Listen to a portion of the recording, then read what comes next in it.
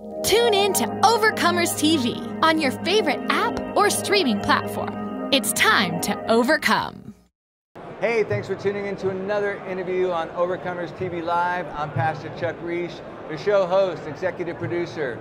We're super excited to be at NRB 2024, Nashville, Tennessee, with a bunch of international Christian communicators all huddling up from Christian film, radio, television, now podcasts. The gospel is going forth, and we're super excited to have Paul Renfroe as our first guest, the uh, author of Nobody Sees These Enemies, and so excited for you to join us here today, Paul. Thank you, Chuck, and I've been looking forward to this for quite a long time. You and I have had great fellowship by phone and praying together and overcome technical gremlins that the kingdom of darkness Yeah. has attempted to waylay your efforts. Yeah. But here we are now, and the viewer is able to partake because the Lord is superior in our in our mouths. Amen. We have a lot of technology going on trying to record live as well as for post production, multiple camera angles, multiple audio tracks. Super excited because media and books, I mean, right, that was one of the first mediums is writing, you know, books, publications. Obviously, the scriptures were pen to paper. Talk about the importance of uh, a good book. Well, first of all, God is a spirit, Jesus said. Right. and seeks worshipers to worship him in spirit and in truth. That's John 4:24 with the woman at the well. And spirit is because we are spirits and God is spirit. And if there's a listener who wants to be close to God, you have to understand that you must be born again as a spirit. And that's John chapter 3.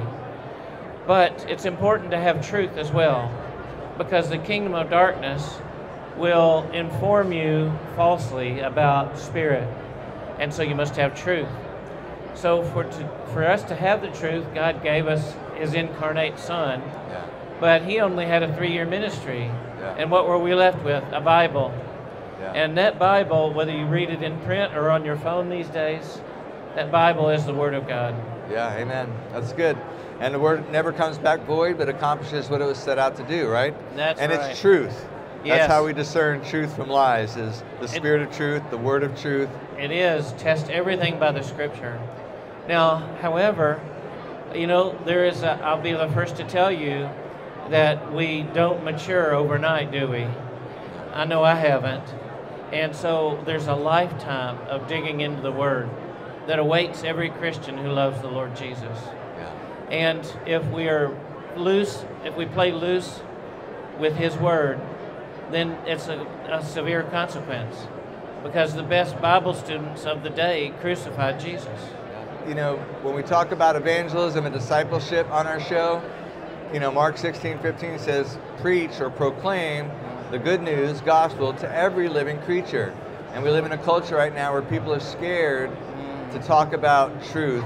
Um, do you want to talk about evangelism and, and the importance? That's the, the mission of the church to make disciples, share the gospel. Oh, see, it's easy to be afraid, but where does that fear come from?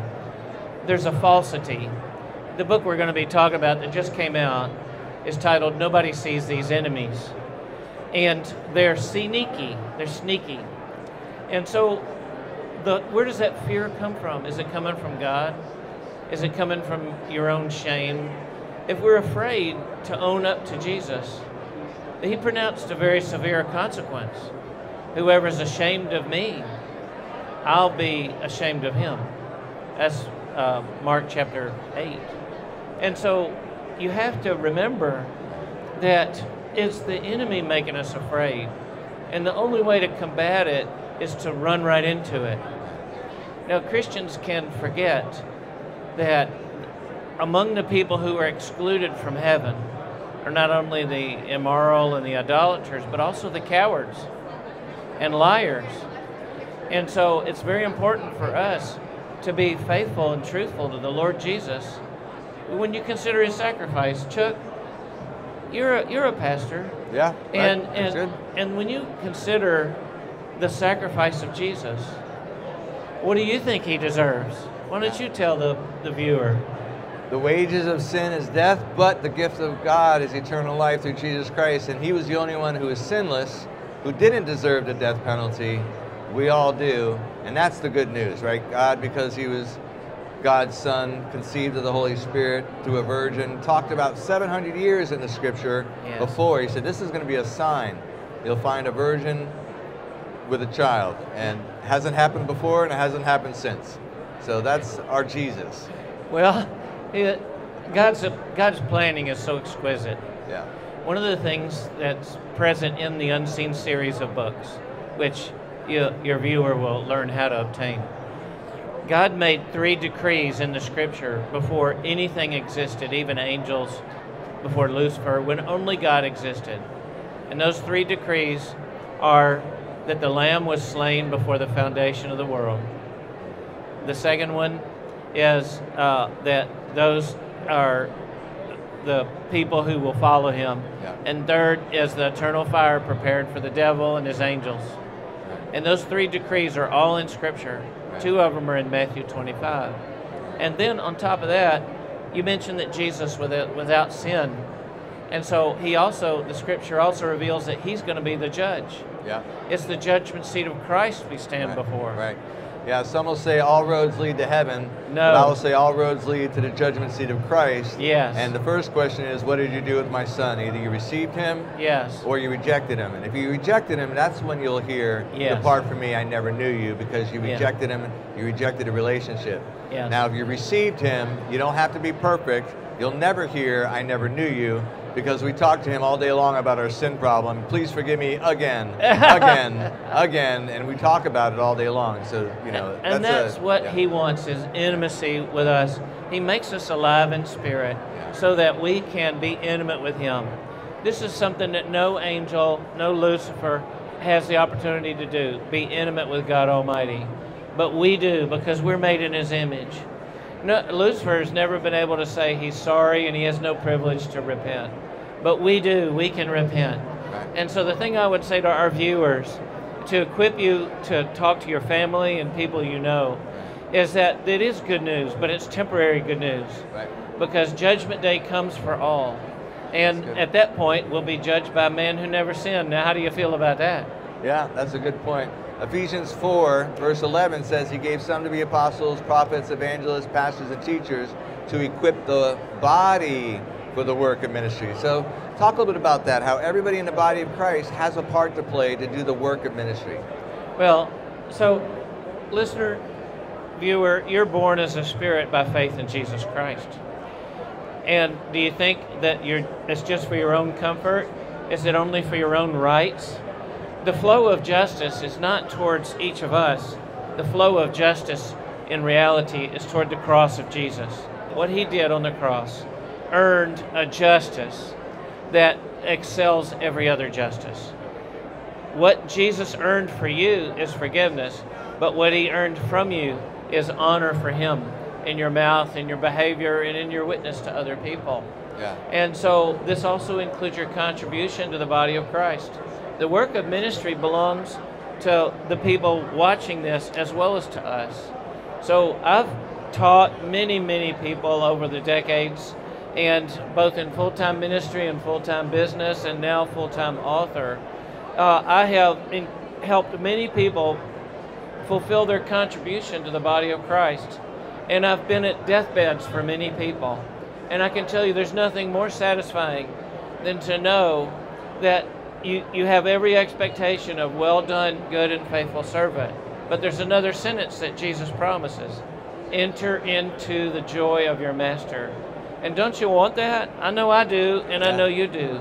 And that we don't rest on our laurels. Yeah, We're not that's good. earning merits, and we're not interested in demerits because there's, uh, frankly, a lot more demerits. Amen.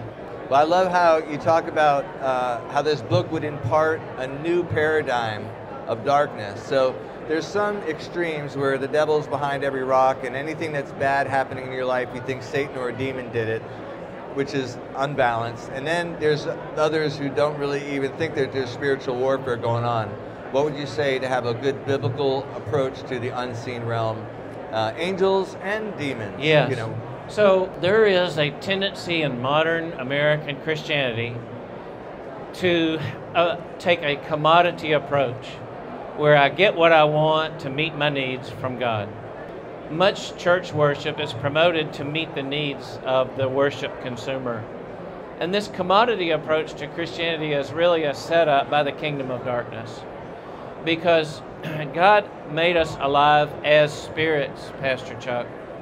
And I'm a spirit and you're a spirit. We're a spirit with a soul in a body. And as a result, as being a spirit now, we are like the wind, Jesus said. And people of the world cannot account for us. We're unaccountable.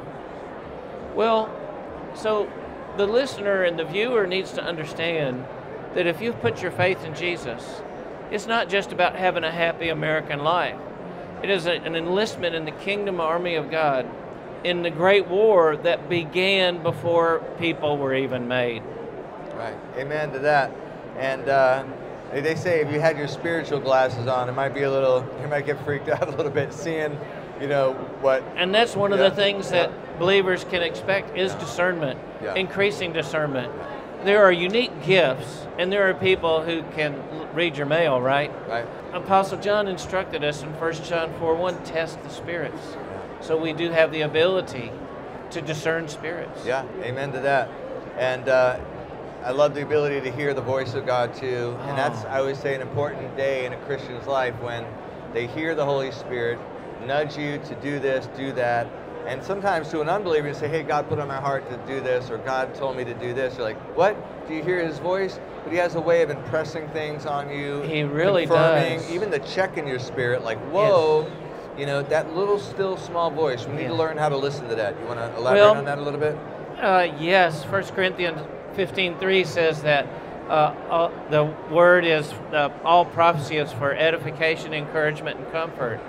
And there's this presumption in what the scripture is contains that we have the ability to hear God for the benefit of others. So you and I, even as we dialogue, we're listening to the Holy Spirit for things that'll be encouraging to a person who tunes Yeah. into this. Right. And that person might tune in at 1 a.m. on a Saturday night when they can't sleep, or they might tune in uh, as part of their church worship service. So the voice of God is organizing and orchestrating everything. And that's why the angels sing in Revelation 5 Worthy are you, O Lord our God, to receive glory and honor and praise, and a long list of high qualities, because you created all things, as past tense, and by your will they exist, that's present tense, and have their being. And so our great God is holding all things together by his word of power, Hebrews 1 3. And it's great to participate in that as a living spirit. Yeah. And these privileges are so delightful for everybody who pursues the Lord. You know. Yeah, yeah, that's good. That's good. So we do this show, answering the call on Overcomers TV, because we believe each person has a calling on their life to get involved with their time, their treasure, their talents, right? Or pray, give, go. So your website, paradigmlighthouse.com. We have your number also on the bottom of the screen showing up occasionally, 850-544-3408, for those who will hear the podcast later without the visuals scrolling along the bottom. Um, we want people to get involved or to learn more. Do you want to talk about ways people can get involved in your ministry and support it? Yes, in very, very important ways. You know, uh, I, after three decades in business, there were many times that my primary contribution to ministry was money. And it takes money to do this microphone, it takes money to print these books. Oh yeah, And so, listener, don't underestimate if God has given you uh, a, an abundance that you can give as well. So, at the paradigmlighthouse.com, one of the tabs is Paradigm Underwriters. So, this past two weeks, we've received $13,000 in gifts from three people. And Praise over the last three years, this entire series of books has been published as a result of the gifts of other people. One person gave 22,000, but I also received $71 gifts. And 71, it might be seem kind of strange, but if you go to Paradigm Lighthouse, you will see that. And and then I also want to equip our underwriters so that they get free books. And so that's very important too right. because this new paradigm of darkness and the new paradigm of being a living human spirit is something that is new to people. Right. And so there's a there's a growing period. Well, it's no different from 15, 17, when there was a growing period as the truths of salvation by faith were restored to the church. Right. And so we have a growing period when God releases something new from the scripture. Yeah. And so we just pursue Him. What did Apostle Paul say in Philippians 3? You know that. Whatever I had counted as gain, go ahead. It's uh, it's lost. It's rubbish, as they say in Boston. Garbage is rubbish, or some will even say dung, uh, uh, feces or dung, or Yes, that's Cow dung or whatever. For the surpassing worth of knowing Jesus Christ my Lord. Amen. That's good. That's good. So, final question: Is there anything else, Paul, that God put on your heart to share with us today before we close in prayer? I want the viewer and listener to understand you can go to Paradigm Lighthouse and get your copy of Nobody Sees These Enemies How to Discern and Disarm Unseen Tempters. Now, this is book four in the Unseen series, but you can start in, at book four and then catch the other books later because this is so practical. Our tempters are sneaky and unseen. I just read about the Garden of Eden to figure that out. And look at your own life.